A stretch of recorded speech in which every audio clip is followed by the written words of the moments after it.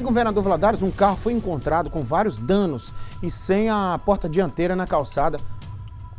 Como é que é o negócio aí? Volta lá, acho que eu li estranho errado aqui. Um carro foi encontrado com vários danos e sem a porta direita, né?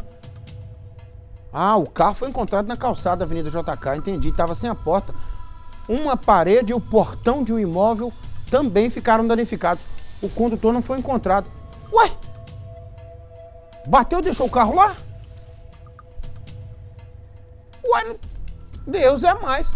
Ô Miguel Braz, você que vai contar isso pra mim, meu filho? Não sei se ele já falou comigo. Já falou, já falou com o delegado. Ô Miguel, que confusão foi essa desse carro aí?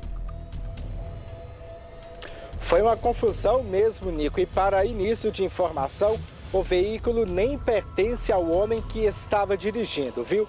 Pois bem, esta ocorrência foi no bairro São Cristóvão, aqui em Governador Valadares. Testemunhas contaram para a Polícia Militar que o homem, após bater contra um container na avenida, perdeu o controle da direção, atravessou as divisórias da pista e só bateu e só parou depois de bater contra uma residência. Foi um susto para os moradores, viu? O carro ficou danificado, como a gente vê aí nas imagens, e ficou sem uma das portas. Só que depois do fato, o homem fugiu do local. A polícia militar foi acionada e solicitou o serviço de guincho. E enquanto era feita a remoção do veículo, o proprietário do automóvel compareceu ao local. Ele contou para os militares que havia adquirido o veículo há pelo menos uma semana, só que não tinha passado para o nome dele. O homem ainda relatou aos militares que o carro estava guardado na casa de um parente. Pois bem, aí o homem que bateu o carro teria pedido ao amigo dele o veículo emprestado.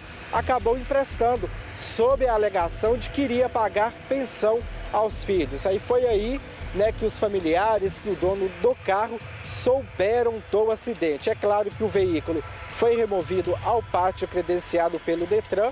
Já o homem que estava na condução do carro, até o momento não foi localizado.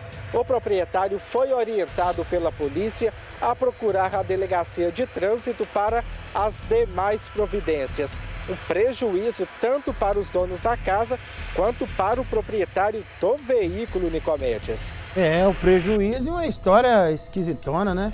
Ah, quem passou o veículo sabe para quem que passou, né? Já pensou, Miguel? Você chega ali na portaria da TV Leste e fala, me dá a chave do carro do Nico aí. Ó, aí entrega a chave pro Miguel. Vai lá o Miguel, chapuleta o carro lá na JK e deixa o carro quieto e vai embora. Ah, Miguel, eu te pego, eu vou atrás do 100. Você não pega... É, que é isso aí? Ah, você não pega carro nosso aqui sem avisar não, hein, Miguel?